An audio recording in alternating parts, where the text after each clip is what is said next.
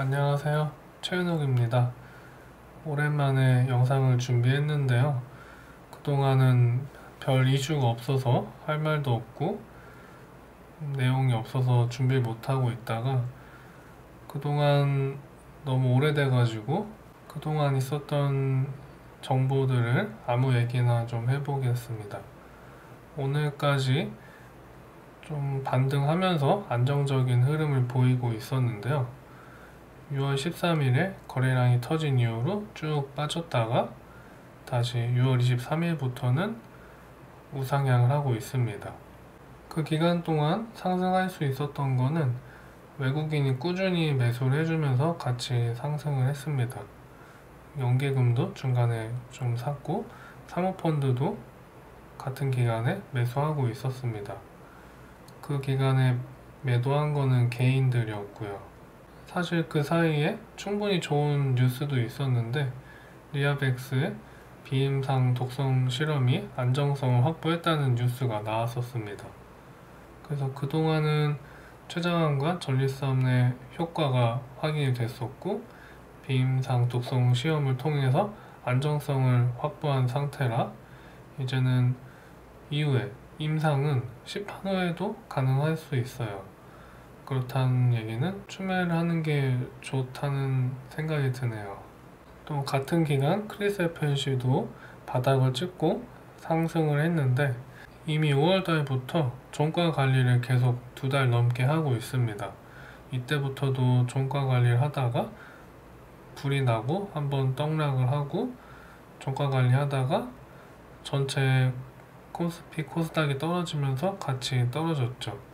그 이후에도 기타 법인이 종가 관리를 계속하고 있습니다. 6월 중반 때는 7월 초까지는 기타 법인과 사모펀드에서 종가 관리를 하고 있었는데 종가의 3%포인트 정도씩 계속 장난을 치고 있었어요.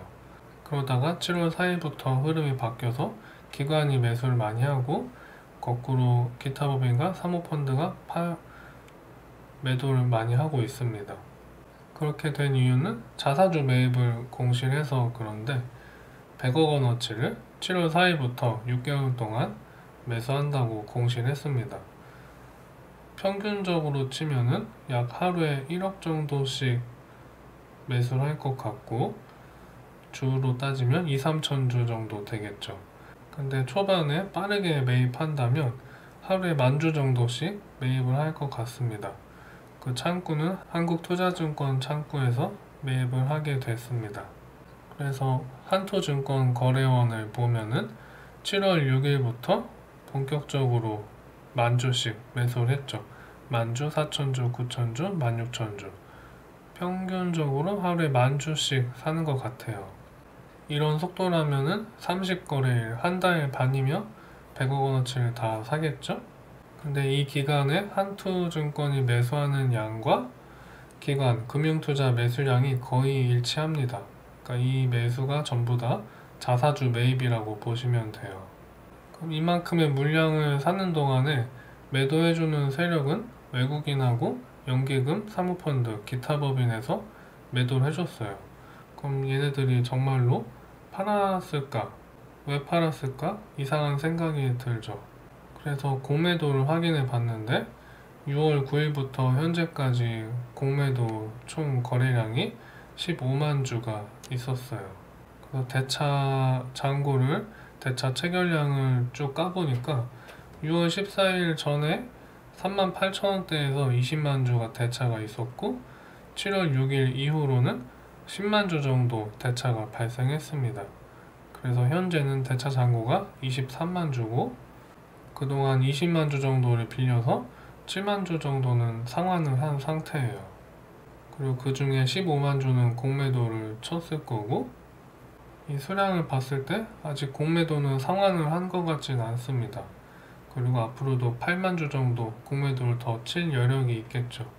그래서 대차 잔고랑 공매도를 시기를 보니까 이 구간에서는 외국인 창구에서 대차를 해서 공매도를 친 것 같고 이 구간에서는 연기금, 사모펀드, 기타 법인 계좌에서 대차를 받아서 공매도를 친 것 같고 공매도 상한은 하나도 안 한 것 같습니다. 그래서 제가 예상하기로는 8월 중순에 쇼스 퀴즈가 날 것 같고 그때 2분기 실적이 잘 나와준다면 7만원에서 9만원 사이를 예상하고요. 그게 가능한 이유는 공매도가 그때까지 20만 주 정도 쌓여 있을 때 상환한 물량이 없어지면서 쭉 슈팅이 나올 것 같습니다. 그러기 위해서는 한 가지 조건이 있는데 전체 장이 너무 빠지면 안 됩니다. 그러기 위해서는 원유랑 천연가스가 하락을 해줘야지만 장이 안정될 수 있는데 제가 예상하기로는 프랑스 대통령이 휴가 가기 전에 휴전될 가능성이 높을 것 같아요. 왜냐하면 더 늦으면 기회가 없거든요. 프랑스 입장에서는 사실 이 전쟁을 빨리 끝내고 싶어 할 겁니다. 영국과 러시아의 Great Game에서 왜 프랑스랑 독일이 희생을 해야 되냐 이런 의심이 들거든요.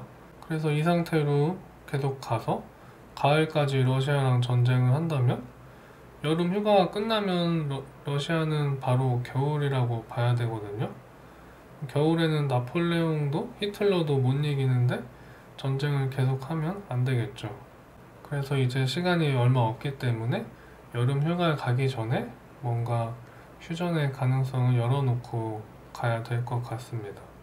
아직 초여름인데 벌써부터 겨울 타령하냐고 생각할 수 있는데 사실 이미 가을로 접어들었습니다. 저희 동네 하늘도 완전 가을 하늘이 다 돼서 좀 있으면 눈이 올 것 같아요. 어제 저녁이었는데 한 달, 두 달 있으면 왠지 눈이 올 것 같죠? 그래서 그 전에 전쟁이 끝나고 유가가 하락하면 크리스 펜시가 떡상할 겁니다. 감사합니다.